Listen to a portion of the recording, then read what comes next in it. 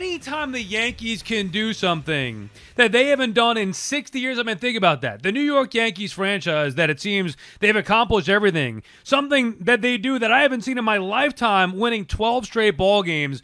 That is just another uh, incredible accomplishment in the unlikeliest of regular seasons when you think about it, the way that this year started and how awful it's been for the Yankees, and now all of a sudden you look at the last month or so, whatever it's been, and specifically those 12 straight, the Yankees are just dominating. So impressive performance from them. You could get into the bullpen and Loaisiga and Holmes. You could get into Giancarlo Stanton, who continues to rake, Aaron Judge, who continues to come up clutch. But the big picture for me is that remember now, because after the slow start in the regular season, the disappointing start to the regular season, the unacceptable start to the regular season, the big picture now is back to what it always is for the Yankees.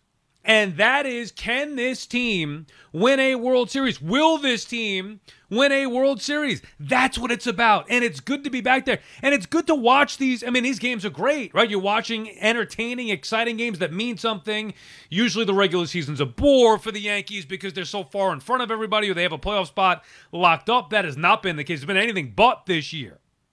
But this year, the regular season means something, so it's fun to watch them go to Oakland, specifically one of the teams that is in the wild card race with them. Even though the Yankees now should have their sights on Tampa Bay and trying to close that gap even further in the American League East as we sit today, right now, four games back of the Rays, comfortably in front of the Red Sox in that Eastern Division. But really, it's about can this team go win their first World Series since 2009?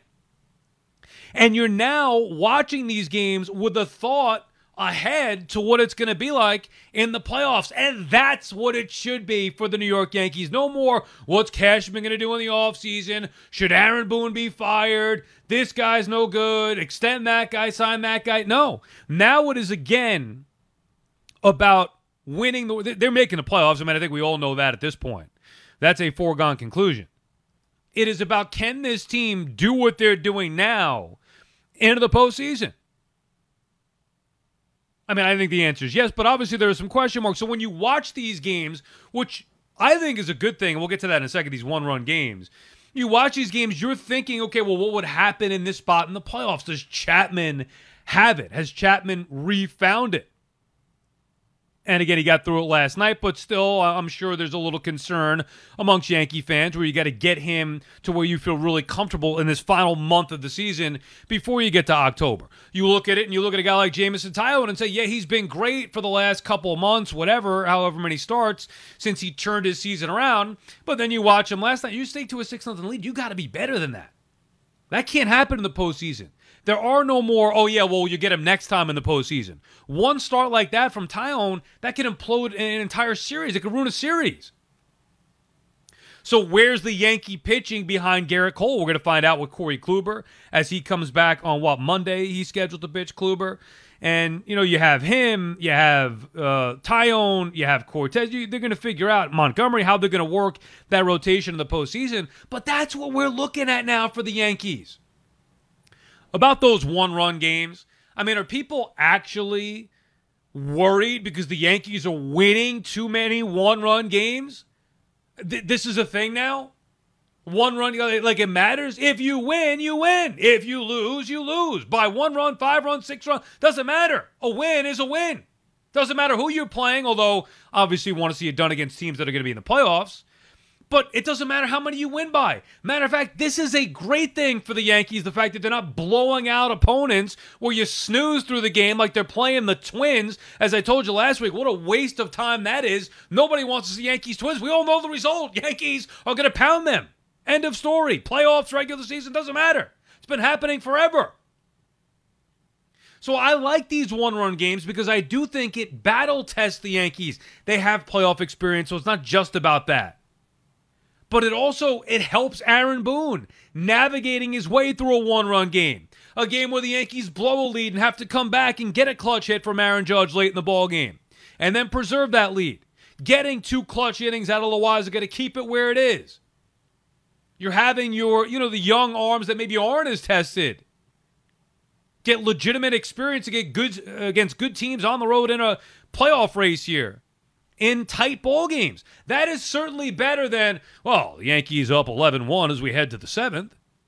Here comes Albert Abreu on to pitch. I mean, why bother? So now you have games that aren't exactly playoff games, but they do have that playoff type feel. And I think that's going to benefit this Yankee group. I've said it before. Now, full disclosure, I say it every year. Yankees are going to win the World Series. Every year, I feel that the Yankees are going to win the World Series. Thought they had some issues going into this season, but I still thought that they'd get in the postseason. You look around the rest of the American League, any team really scare you that much? And the Astros are fine, whatever. And the White Sox. And now that we've seen the regular season, Yankees have handled the White Sox. They've handled the Astros. They've now showed they can beat the Red Sox. And they even kind of punch back against the Rays. That would maybe be the one team that would be a threat. But step back and look at it. And you could look at it on paper. You could look at it, what the Yankees have done these last 12 games or even, you know, the last 40, 50 game sample. That team, when they are clicking, nobody in the American League is beating them. Nationally, maybe a little different story with the Dodgers, with the Giants. Nobody in the American League can beat the Yankees if they perform up to their abilities. I mean, they are freaking loaded. And that's what it should be about now. So for the final month, this is not it's not really a playoff race. I know it kind of is, but it's not really that. It's more of an evaluation of okay, how is this team going to go from where they are now to World Series champions because that is always the expectation for the Yankees. And we lost sight of that because of their awful start. World Series, I mean, they were lucky that we'd be talking about them in the playoff conversation. But now that we're here, now that we've watched them win 12 straight, and by the way, keep it going. I mean, not that it means anything. We've seen other teams go on these long winning streaks throughout the course of a regular season. I mean, it means you have a, a good team. Doesn't mean you're going to win the World Series if you win 20 straight. We've seen that before. But it's fun and something that Yankee fans, while they've experienced the highest of highs, more so than anybody else in this town, well, we're filled with losers here.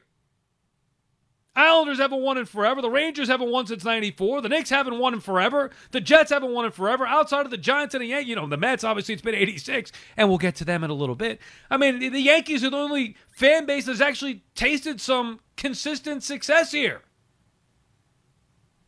in the last 40 years, maybe longer. But this is something that a lot of people, and I don't know how old you guys are, but I mean, I would think the majority, it's 60 years. So even if you are 60 years of age, it's been a long time since you saw this or lived through what we're seeing here with the Yankees winning 12 straight. So it is fun. And I do think that each season, you know, you can talk about World Series or bust. I get it. That's the expectation for the Yankees every year, especially now since they've righted the ship. But there are things in each individual season that you remember. You'll remember this 2021 season and the way that they struggled early on, and the way that everybody wanted Boone and Cashman fired. You'll remember them digging out of it and winning 12 straight, maybe more. But ultimately, for the New York Yankees, the expectation is still World Series or bust. And now there's no excuse. They made the trades they had to make. Uh, and obviously, you, you've seen what Gallo can do. Just when he connects, mashes homers.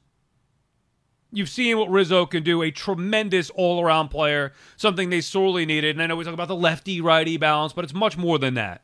You're also adding two guys who can play defense Gallo in the outfield, Rizzo at first base. Experienced players. But they also made some bullpen moves that maybe at the time we kind of dismissed. Holmes, who's this guy from the Pirates? Holmes has been good for the Yankees.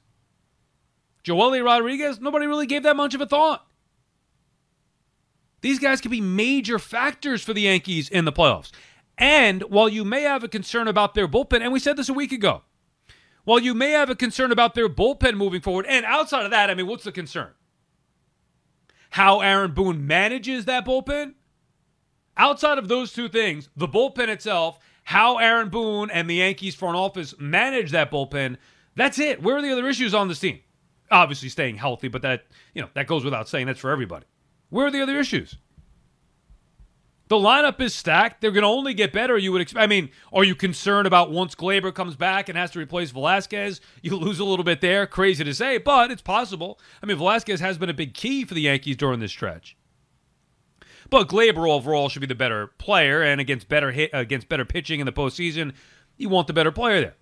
But let's leave the lineup alone. Let's leave the defense alone. They now got versatility with Stanton actually playing the outfield. Wow, how great has Stanton been? By the way, this is what he does. This should not be a surprise. He goes on these tears. You'll have to hope he times it right again like he did last year and has it in the postseason. Otherwise, it doesn't really matter. But nobody should be shocked. Oh, did you see the exit velo? Oh, look at how hard he hit that baseball. Yeah, that's what he does when he actually connects. And that's why he's maddening.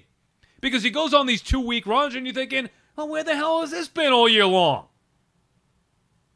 And then he goes and looks, you know, uh, the 0 for 5, five strikeouts, and, you know, social distancing from the baseball.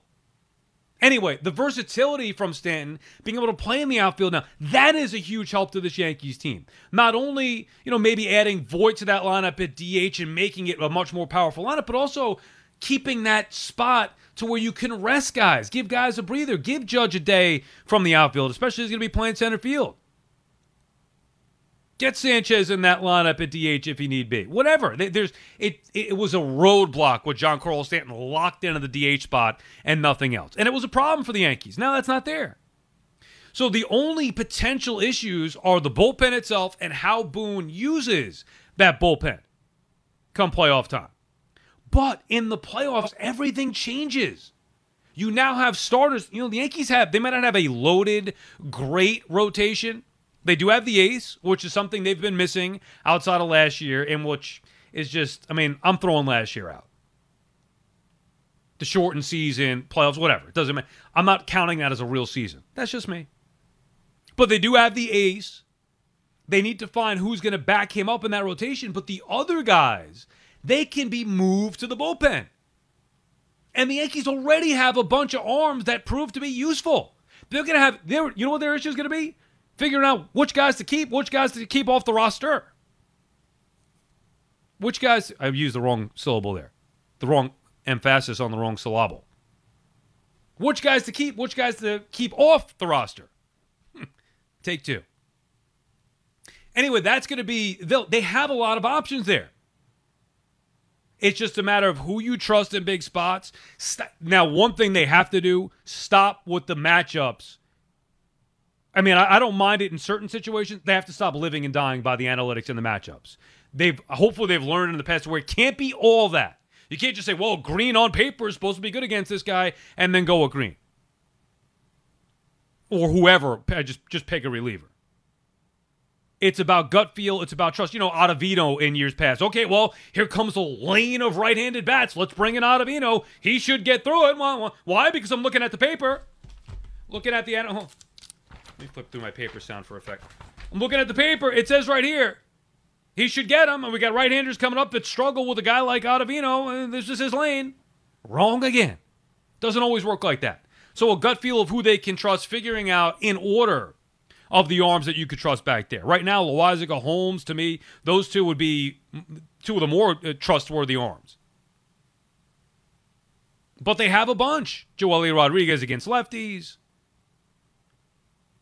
And obviously, getting Chapman figured out is going to be a big deal. And I don't know if I'd say it's imperative, but they need to figure that out now because they can't have it, you know, over the next month. They can't have an implosion from Chapman in the postseason. And the way that he's gone this year, I'm not so sure how you can trust that that's not going to happen. And if he does seem like he's going to then get him out. So maybe instead of just making him the close, you also pick your spots with him. But the point is, big picture.